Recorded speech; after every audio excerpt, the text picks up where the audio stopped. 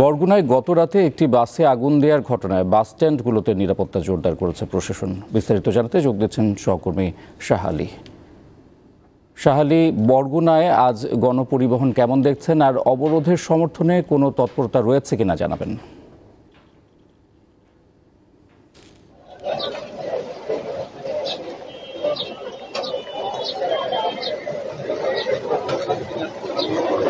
এখানে কিন্তু পুলিশ ব্যাপক মোতায়েন করা হয়েছে এবং বরগুনায় কিন্তু দূরপাল্লার বাস গতকালকেও ছেড়ে যায়নি, এখন পর্যন্ত ছেড়ে যায়নি। শুধুমাত্র বরিশাল বরগুনা এবং অন্যান্য রুটে যে বাসগুলো চলাচল সেগুলো কিন্তু স্বাভাবিক রয়েছে।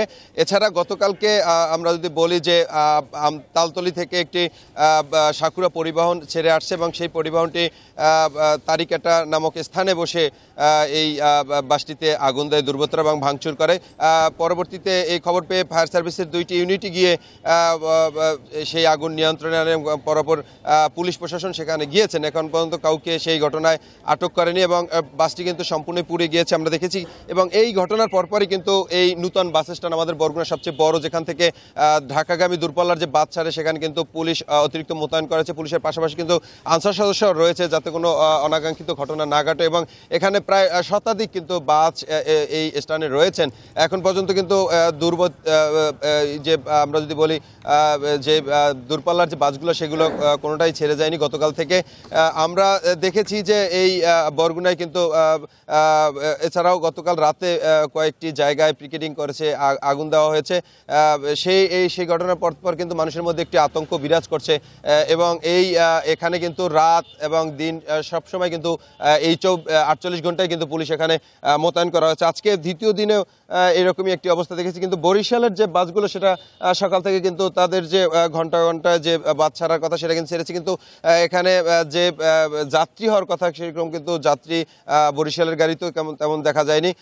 গতকালে যে আগুন দেওয়ার সেই ঘটনায় কিন্তু তিনজন আহত হয়েছে। তাদেরকে বরিশ তাদেরকে আমতলির স্বাস্থ্য কমপ্লেক্সে তাদেরকে ভর্তি করানো হয়েছে এবং তাদের অসংখ্য তেমন কোনো ক্ষতি হয়নি। সেটা কিন্তু আমরা দেখেছি এবং বরগুনায় আজকে আর কিছুক্ষণ পরই শান্তি সমাবেশ রয়েছে এবং এই অবরোধ অবরোধের প্রতিবাদে আওয়ামী লীগের সেখানে মিছিল রয়েছে আর কতক্ষণ পরে শুরু হবে। এছাড়া আমাদের কাছে অন্য কোনো তথ্য নেই। এই ছিল বরগুনা থেকে আমার কাছে সর্বশেষ তথ্য। ইফতেখার।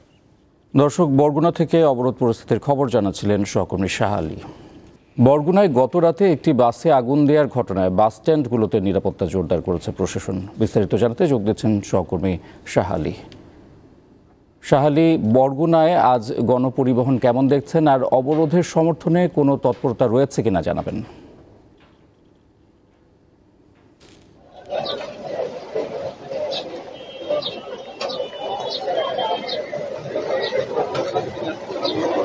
এখানে কিন্তু পুলিশ ব্যাপক মোতায়েন করা হয়েছে এবং বরগুনায় কিন্তু দূরপাল্লার বাস গতকালকেও ছেড়ে যায়নি, এখন পর্যন্ত ছেড়ে যায়নি। শুধুমাত্র বরিশাল বরগুনা এবং অন্যান্য রুটে যে বাসগুলো চলাচল সেগুলো কিন্তু স্বাভাবিক রয়েছে।